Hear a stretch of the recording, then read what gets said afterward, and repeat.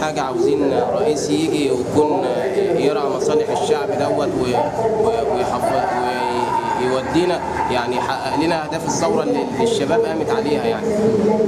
رأيي إن الحمد لله ربنا يجيب كده ربنا يولي من يصلح ويجيب رئيس كده يعمل لنا ال- الأهداف اللي إحنا عملناها يعني بتاعت الثورة إن شاء الله.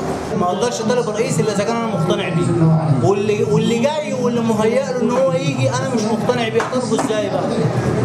اطالبه إزاي؟ ما اطالبه كنت كنت طالبت حسني بقى وما شلتوش الشباب اللي مش لاقية شغل الشباب اللي معاها شهادات ومش عايزة مش مش لاقية لها وظيفة. لنا المصانع ال- آه، عيالنا بدل ما تتغرب بره البلد حالها واقف جدا جدا جدا. وبعدين ما فيش أي مصدر رزق. وبعدين الحاجة عمالة تغلى. أنا راجل باخد معاش. بقبض 450 جنيه. لو ما فيش حاجة سبوبة زي دي وبسترزق فيها هيعملوا إيه 450 جنيه في الزمن ده؟ يعني عند حضرتك لا مؤاخذه الميني باص؟ أنا جت عليا وقت معيش غير الجنيه ونص بتاع الميني باص. وركبت اتفاجئت إنه بقى ب 2 جنيه.